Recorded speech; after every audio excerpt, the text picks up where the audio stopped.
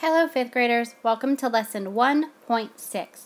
Today's lesson is to multiply by one digit numbers. Please pause and write the lesson number and title in your notebook.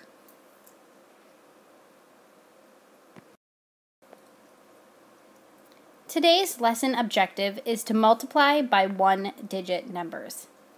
Please pause again to write the lesson objective in your notebook.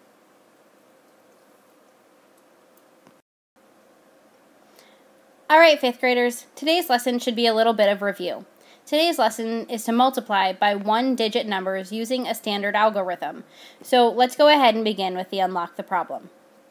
Each day, an airline flies nine commercial jets from New York to London. Each plane holds 293 passengers. If every seat is taken on all flights, how many people will fly on the airplane from New York to London in one day? Before we start solving our problem, let's go through our problem and look for the numbers. So I see that we have nine airplanes, and each airplane holds 293 passengers. And actually, the word each is important too, because that means every single plane has 293. Each tells me that we're going to multiply.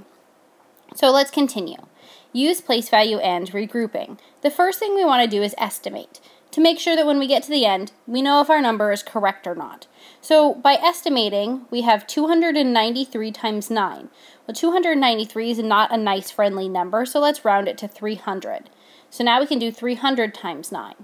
3 times 9 is 27, and then we add our two zeros on, so we should get a number around 2,700.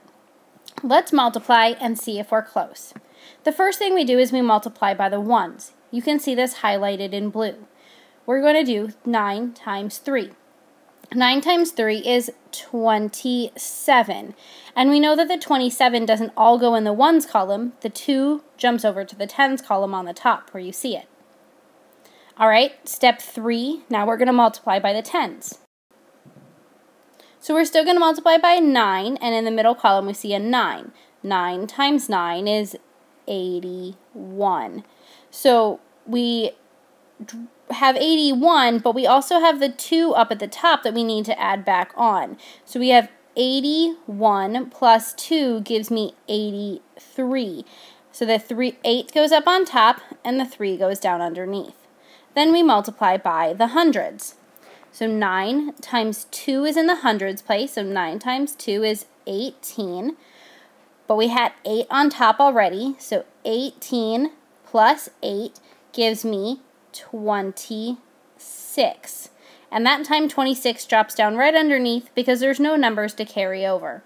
So we get the number 2,637, which we can tell is a reasonable number because if we look back to our estimate at the beginning, we said that our number was going to be about 2,700 and 2,637 is pretty close to 2,700. So this is a reasonable estimate and a reasonable answer. Since today's lesson was an easy one, we're going to go ahead and start our lesson activity. Today's lesson activity is to estimate and then solve. So you're going to estimate 863 times 8. Since I see a 6 in the middle, I would say that 863 is closer to 900 when I estimate. So you're going to start by estimating 900 times 8 and then find the final product. Remember that this needs to be done in your math notebook and ready to show your teacher. Great job on your flip lesson!